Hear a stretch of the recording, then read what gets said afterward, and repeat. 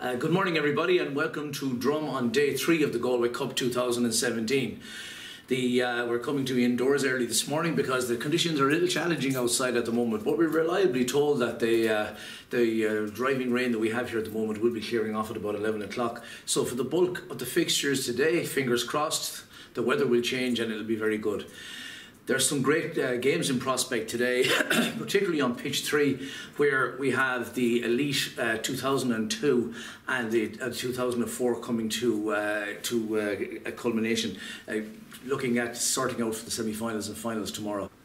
And perhaps the best game of the day could be at 4:45, last game on pitch three, where the Colorado Rapids are in against the Galway District League in the 2004 Elite.